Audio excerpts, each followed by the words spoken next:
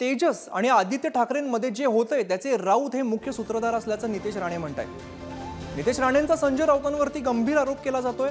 ठाकरे आणि पवार कुटुंबामध्ये वाद लावण्यात ही राऊतांचा हात आहे असं वक्तव्य नितेश राणे यांनी केलेलं आहे. जे काही अजित दादा आणि पवार साहेबांच्या घरामध्ये होत आहे तो दोन हजार एकोणीसचा राग आहे. ते पवार साहेबांनी उद्धव ठाकरेंबरोबर आग्रह का धरला नाही? ते संजय राऊतला मुख्यमंत्री बना बनवा. उद्धव ठाकरेंनी त्याचं नाव का सुचवलं नाही? त्याच्यामुळे पवार कुटुंब फोडाफोडी केली आणि त्यांना काड्या लावत बसले. बसला.